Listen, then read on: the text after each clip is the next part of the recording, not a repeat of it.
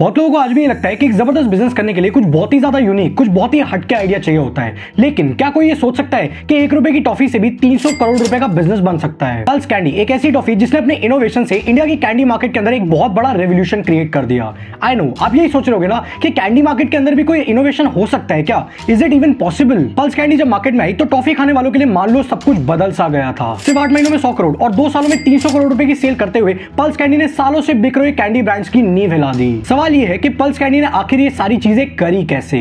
और सबसे इंपॉर्टेंट हमारे लिए वो कौन से पावरफुल मार्केटिंग लेसन है जो हम इस केस स्टडी से सीख के अपने बिज़नेस के अंदर इंप्लीमेंट कर सकते हैं? This video is brought you by Kuku FM जिसके बारे में हम इस वीडियो में आगे बात करेंगे। पल्स कैंडी जितनी टेस्टी है, उसकी कहानी उतनी ही ज़्यादा दिलचस्प है। सो ये कहानी शुरू होती है साल 2013 में, जब एल्पन लीबे मैंगो बाइट और कच्चा मैंगो बाइट ये टॉफीज मार्केट को रूल कर रही थी। चाहे कोई ग्रोसरी स्टोर हो या फिर कोई पनवाड़ी, हर एक जगह पर इन्हीं टॉफीज का नाम था। अब अगर ऐसे में आप मार्केट के अंदर एक कैंडी लॉन्च करने का सोचो तो आपको कोई बेवकूफ़ी कहेगा। लेकिन पल्स कैंडी के साथ ऐसा नहीं था। पल्स कैंडी की शुरुआत 1929 में बने डीएस ग्रुप यानी कि धर्मपाल सत्यपाल ग्रुप ने करी थी। और साल 2013 ये वो टाइम था जब डीएस ग्रुप ने कैंडी मार्केट के अंदर कदम रखने का फैसला किया। लेकिन मार्केट के अंदर एक बहुत बड़ी प्रॉब्लम थी। वो प्रॉब्लम थी variety seeking buying behaviour in simple words आप जब भी कोई भी सामान खरीदने के लिए मार्केट में जाते हो तो आप वेराइटी सीख करते हो। आप देखते हो कि मेरे को कितनी वेराइटी के प्रोडक्ट्स मिल रहे हैं। अगर किसी दुकान पे सिर्फ़ एक या दो प्रोडक्ट्स अवेलेबल है ना तो आप उस दुकान से हटके किसी दूसरी दुकान पे जाते हो, जहाँ पर आपको ज़्यादा वेराइटी अवेलेबल हो। लेकिन अगर हम बात करें कैंडीज की तो मार्केट के अंदर कैंडीज तो खूब सारी अवेलेबल थी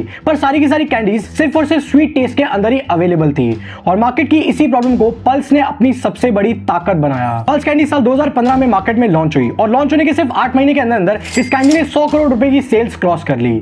आई नो आप यही सोच रहे ना कि अगर कंपनी को आइडिया साल 2013 में आया तो फिर साल 2015 तक आखिर क्यों वेट किया? वेल well, इस बात का जवाब छुपा हुआ है डीएस ग्रुप के बाकी प्रोडक्ट्स के अंदर। रजनीगंधा बाबा इलायची पास पास और कैच के मसाले। ये सारे के सारे भी डीएस ग्रुप के ही प्रोडक्ट्स हैं। लेकिन इनमें से किसी भी प्रोडक्ट के लॉन्च से पहले, और इनफैक्ट उनके प्रोडक्शन से भी बहुत ज़्यादा पहले एक थोरो मार्केट रिसर्च कंडक्ट करी जाती है, ताकि डीएस ग्रुप मार्केट के अंदर एक कंज्यूमर फिट प्रोडक्ट इंट्रोड्यूस कर पाए। क्या आपको पता है कि पास जैसे माउथ फ्रेशनर को लॉन्च करने से पहले भी डीएस ग्रुप ने चार साल तक मार्केट रिसर्च करी थी। एंड यही सेम चीज़ उन्होंने पल्स कैंडी के साथ भी करी। साल 2015 उन दिनों मार्केट के अंदर मैंगो बाइट और कच्चा मैंगो बाइट इन दोनों कैंडीज का सबसे ज़्यादा मार्केट शेयर था। जिस चीज़ को देखते हुए डीएस ग्रुप को एक चीज़ तो रियलाइज़ हो गई थी कि मैंगो कैंडी एक ऐसी चीज़ है जो कि इस देश के कोने कोनों में कंज्यूम हो सकती है। और इसके बाद डीएस ग्रुप ने ये डिसाइड किया कि जो भी बनेगा मैंगो से ही बनेगा। इंडिया में गुजरात और राजस्थान के काफ़ी सारे एरियाज़ के अंदर कच्चे आम के ऊपर नमक और मसाले लगाकर बेचे जाते हैं, जो चीज़ लोगों को बहुत ज़्यादा पसंद है। ये देखते हुए डीएस ग्रुप को एक आइडिया आया कि क्यों ना हम इसी चीज़ को टॉफी के अंदर पाउडर फॉर्म में इंट्रोड्यूस कर दे। आज पल्स कैंडी के अंदर आप जो टैंगी मसाला देखते हो ना, उस चीज़ का जन्म यहीं से हुआ था। एंड फाइनली साल 2015 में इंडियन कंज्यूमर्स के टेस्ट और प्रेफरेंसेस को समझते हुए स्वीट कैंडी के अंदर टैंगी मसाला डालकर डीएस ग्रुप ने पल्स कैंडी को लॉन्च कर दिया। अब कैंडी को लॉन्च तो कर दिया, लेकिन सवाल यह है कि अब इस कैंडी को लोगों तक पहुँचाया कैसे जाए? लोगों तक पल्स कैंडी को पहुँचाने के लिए डीएस ग्रुप ने यूज़ किया अपना extensive distribution network DS group हर एक पनवाड़ी तक पहुँचा जो ऑलरेडी उनके प्रोडक्ट्स रखते हैं। और उनको एक ही चीज़ कही, कि आपके पास स्मोकर है, चाहे आपके पास कोई भी बंदा है और वो टॉफी मांगे या चुंगम मांगे, आप उनको पल्स कैंडी ही देना।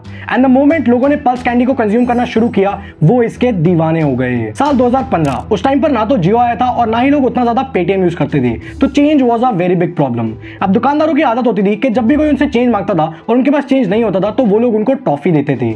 इस चीज़ को देखते हुए डीएस ग्रुप हर एक दुकानदार तक पहुँचा और उनको यही कहा कि जब भी आप चेंज के बदले कोई भी टॉफी दे रहे हो तो पल्स टॉफी ही देना। पल्स कैंडी का टेस्ट बनाए कुछ इस तरीके से था कि जब भी कोई पल्स कैंडी को खाता तो उसका और ज़्यादा खाने का मन करता। जिस चीज़ के चलते अब लोग एक टॉफी नहीं, बल्कि पूरा पूरा डब्बा पल्स कैंडी का खरीदने लगे। बट यू नो वॉट जब ये चीज़ होने लगी तो डीएस ग्रुप के लिए एक बहुत बड़ी प्रॉब्लम खड़ी हो गई वो प्रॉब्लम थी एक्सेसिव डिमांड मार्केट में पल्स कैंडी की इतनी ज़्यादा डिमांड आने लगी कि डीएस ग्रुप उसको फुलफिल ही नहीं कर पा रही थी। डीएस ग्रुप के पास सिर्फ़ सिक्सटी तक का ही स्टॉक होता था, जिसके चलते अब बहुत सारे दुकानदारों ने पल्स कैंडी की ब्लैक मार्केटिंग करना शुरू कर दिया। यानी कि वो बोल देते थे कि आउट ऑफ़ स्टॉक है, और उसके बाद पल्स कैंडी को स्टोर करके आगे महँगे में बेचते थे, जब भी कोई उनसे महँगे में खरीदने आता था। जहाँ इंडिया के अंदर कैंडी का मार्केट सालाना सिर्फ़ चौदह परसेंट से ग्रो कर रहा था, वहीं पर पल्स कैंडी की sales year on year twenty five percent की ग्रोथ रेट से ग्रो कर रही थी। आपको ये जानकर बहुत हैरानी होगी, लेकिन पल्स कैंडी एक्चुअली में कच्चा मैंगो बाइट की एक कॉपी है। उसे अगर कुछ अलग बनाता है तो वो है उसके अंदर का मसाला। डीएस ग्रुप ने मार्केट के अंदर ऑलरेडी बिक रही एक कैंडी को हल्का सा चेंज करके अपना एक नया प्रोडक्ट लॉन्च कर दिया,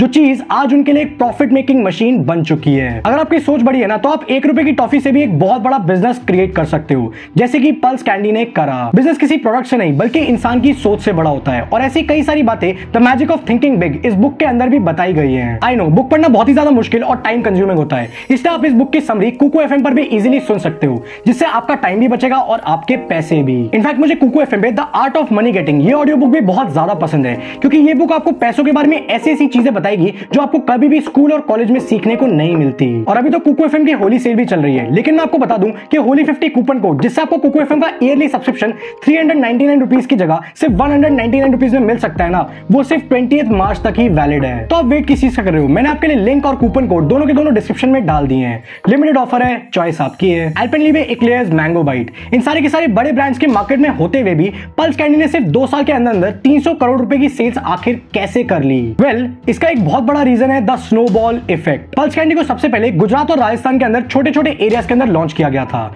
जहाँ पर लोगों ने जब पल्स कैंडी को टेस्ट किया तो उनको इसका टेस्ट बहुत ज़्यादा पसंद आया। और उसके बाद लोगों ने बाकी लोगों को जा जाकर इसके बारे में बताना शुरू किया। देखते ही देखते पल्स कैंडी का नाम इतना ज़्यादा हो गया था कि गुजरात और राजस्थान के बाहर से भी इस कैंडी की डिमांड आने लगी। जब लोगों ने पल्स कैंडी को टेस्ट किया तो लोगों ने और ज़्यादा पल्स कैंडीज परचेज करी। उसके बाद डब्बा परचेज किया और उसके बाद लोगों ने और बहुत सारे लोगों को जा जाकर भी इसके बारे में बताना शुरू किया which created a snowball effect और ये चीज़ धीरे धीरे बढ़ती चली गई और पूरे भारत से पल्स कैंडी की डिमांड आने लगी।